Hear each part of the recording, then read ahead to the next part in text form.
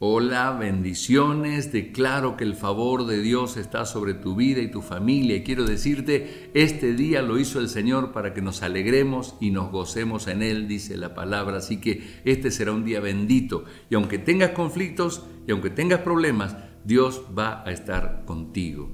Estuvimos viendo cuáles son las llaves para mantener el ánimo fuerte y el salmo siguiente, el salmo 43, nos da tres pasos para mantener nuestro ánimo fortalecido pase lo que pase.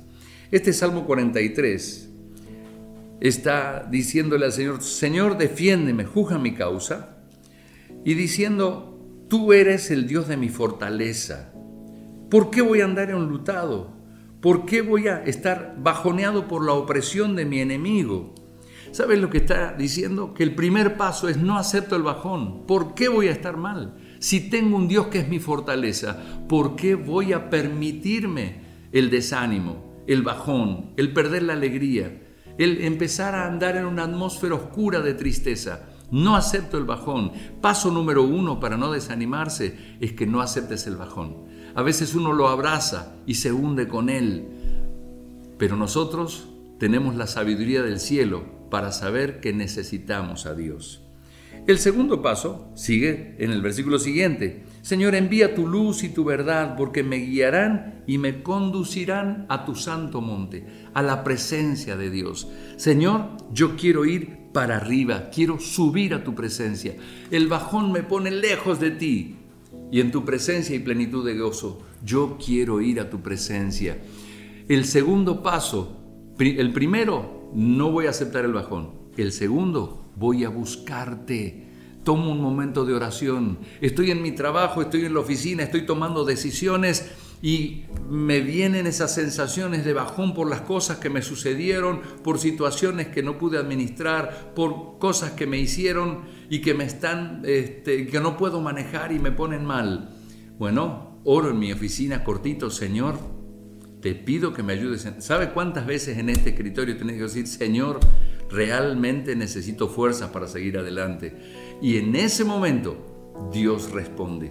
Siempre que vayas a su presencia, Dios responde. Paso uno, no aceptes el bajón. Paso dos, Señor, te voy a buscar. Mi salida está en el cielo. David en el Salmo dice, alzaré mis ojos hacia los montes. ¿De dónde vendrá mi socorro? Mi socorro siempre viene de Dios que hizo el cielo y la tierra. Entonces, este salmo nos está enseñando. Tercero, en la lucha interior yo decido quién gana. ¿Por qué te abates, alma mía, y por qué te turbas dentro de mí? Espera en Dios, porque voy a seguir alabándolo. La misma fórmula del salmo anterior. Dice, ¿por qué voy a aceptar el bajón? Yo le ordeno a mi alma que se goce. Yo le ordeno a mi alma que no siga de luto por esa traición, por esa decepción.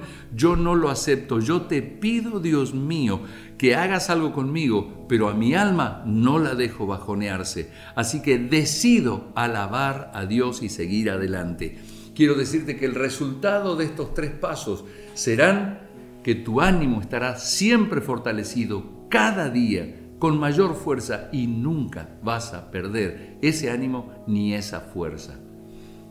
En este momento, si estás desanimado, declara, Señor, voy a confiar en vos y no le voy a dejar a mi alma, ni a mis emociones, ni a mis sentimientos, ni a mis pensamientos, ni a mi voluntad que quiera perder fuerzas, no le voy a dejar que se bajoneen. Elijo alabar a Dios, aunque no vea la salida, porque mientras le estoy declarando mi amor a Dios y mi confianza a Dios, la puerta se abrirá y Él abrirá un camino donde no había camino.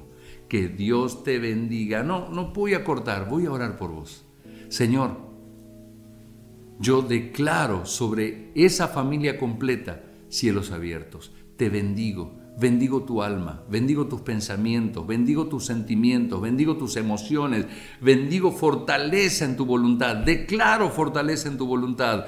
En el nombre de Jesús, yo declaro que el Espíritu Santo te toma de donde estás en tu tristeza y te levanta y te hace fuerte y pone un manto de sabiduría para que sepas mantenerte siempre animado y siempre confiando en Dios. En el nombre de Jesús te declaro bendito y declaro tu ánimo bendito. Amén y amén.